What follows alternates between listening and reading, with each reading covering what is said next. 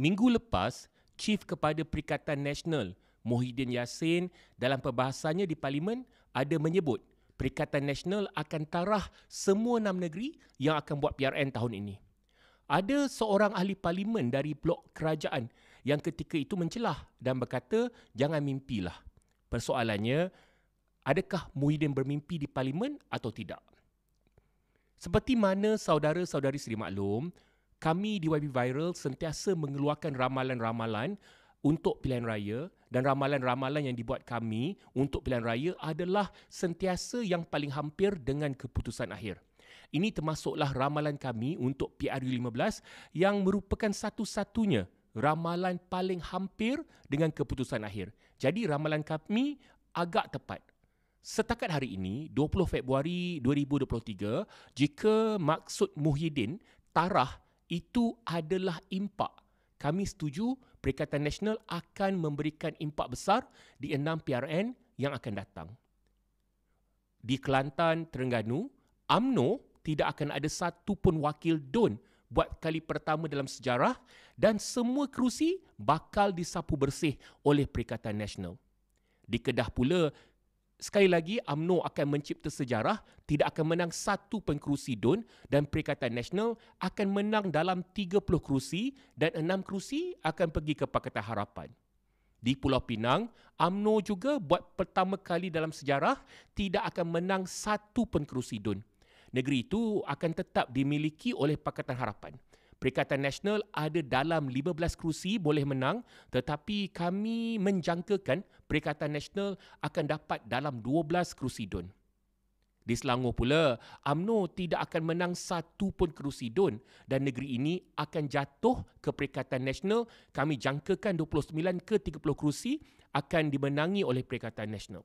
Tetapi kami juga menjangkakan jika itu terjadi dan tiada akta anti lompat di negeri itu, akan ada beberapa adun dari Perikatan Nasional yang akan melompat ke Pakatan Harapan apabila selesai PRN nanti untuk memberi peluang kepada Pakatan Harapan membentuk kerajaan negeri. Jadi, jangan terperanjat. Sementara itu di Negeri Sembilan, ini adalah satu-satunya negeri yang AMNO akan ada wakil DUN. Tetapi kami melihat negeri itu juga akan jatuh ke tangan Perikatan Nasional dengan majoriti tipis. Kenapa kami keluarkan ramalan ini dan apa sebenarnya yang sedang berlaku? Okey. Selain faktor yang membawa kemenangan besar kepada Perikatan Nasional di PRU 15 baru-baru ini, ada dua perkembangan besar yang kami dapat sahkan melalui kajian lapangan yang kami buat. Kami dapati pengundi-pengundi dan penyokong-penyokong AMNO dan Pakatan Harapan sedang sangat marah dengan parti pilihan mereka. Penyokong-penyokong AMNO nampak dengan jelas bagaimana Presiden AMNO sekarang menjadi pak turut kepada Anwar Ibrahim dan DAP. Mereka juga hampa tiada perubahan dibuat AMNO selepas melingkup di PRU15.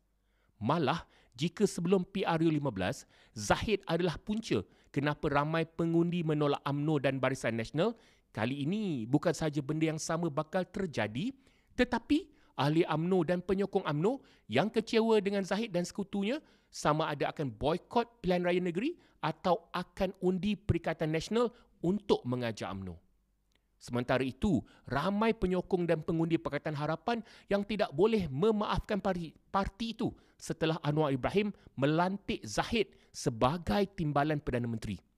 Dari kajian lapangan yang kami buat di kalangan mereka yang mengundi Pakatan Harapan di Selangor ketika PRU15 baru-baru ini dalam 80% tidak berpuas hati dengan Pakatan Harapan dan mereka kata mereka bakal memboikot Pakatan Harapan di PRN nanti. Mereka sama ada tidak akan keluar mengundi atau akan mengundi Perikatan Nasional.